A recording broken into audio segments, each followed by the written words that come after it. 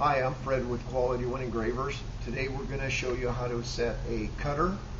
And this is a typical spindle that's used on the New Hermes system, but basically all spindles are pretty much the same. They've all got a lower micrometer, usually a top pulley.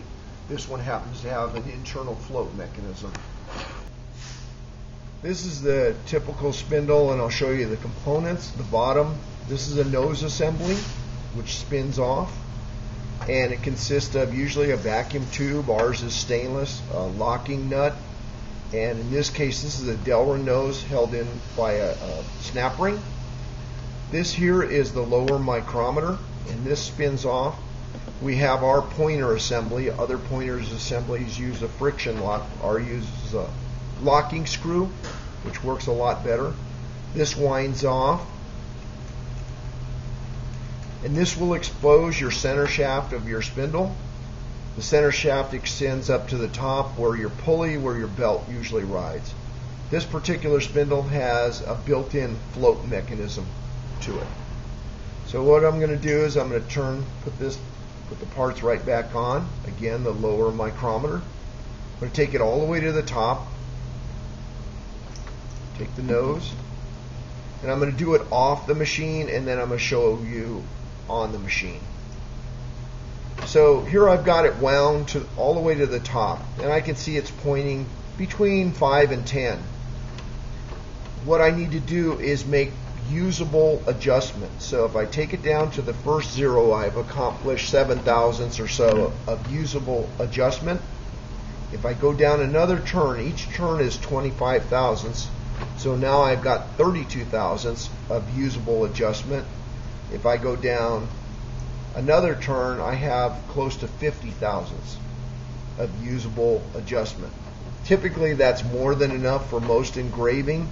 Some people do cutouts through 16th inch material and may have to go three turns down, which would give them 75 plus whatever the initial number was.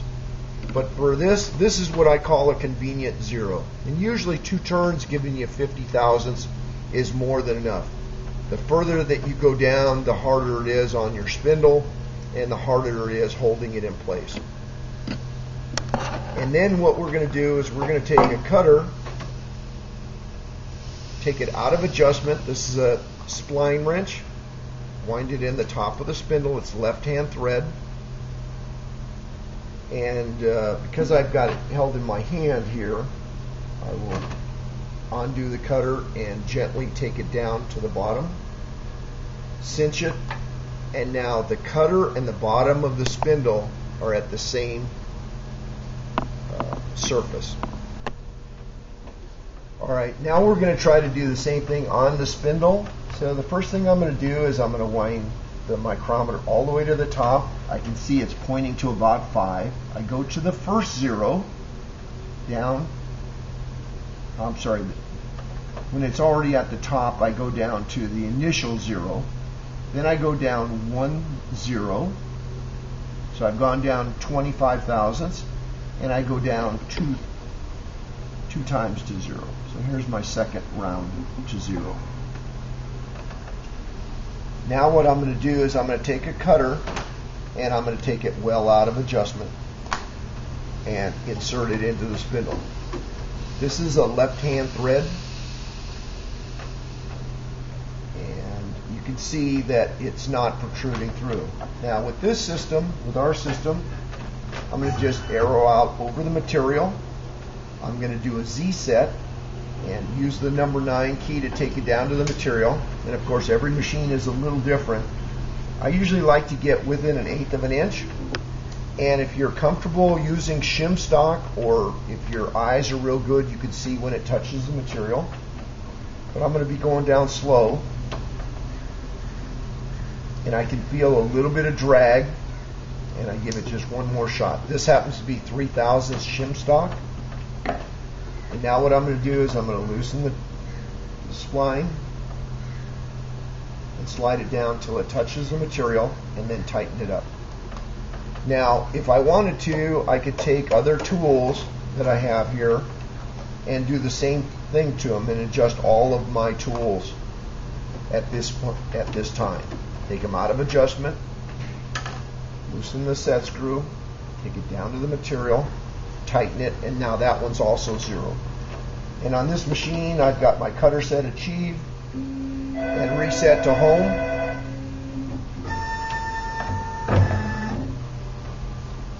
And now I'm ready to engrave. Now, theoretically, the bottom of this tool is on the same surface as the bottom of the nose.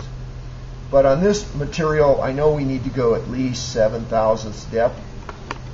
So I'm going to crank it from 0 to about 7. And I'm ready to send the job. Okay, so let's go ahead and send a job and hit the start button.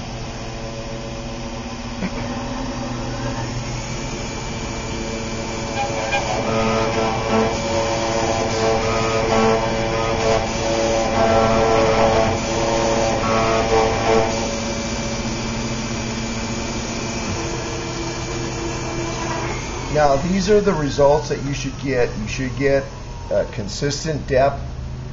If you feel underneath here, you'll feel that the cutter is extending. In this particular case, I have it extending just a little bit too far. It's close to 15. I wanted to see what 10 thousandths did. I can just hit the start button.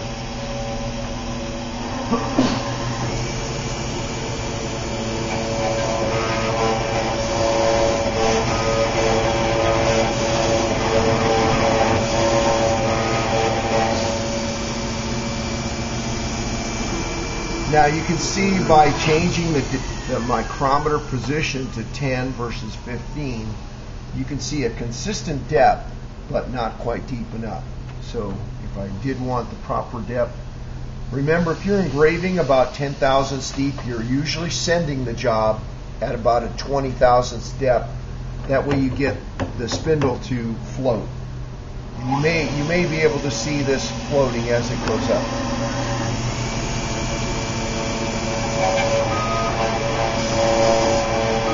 Can see it, but it's probably not perceivable.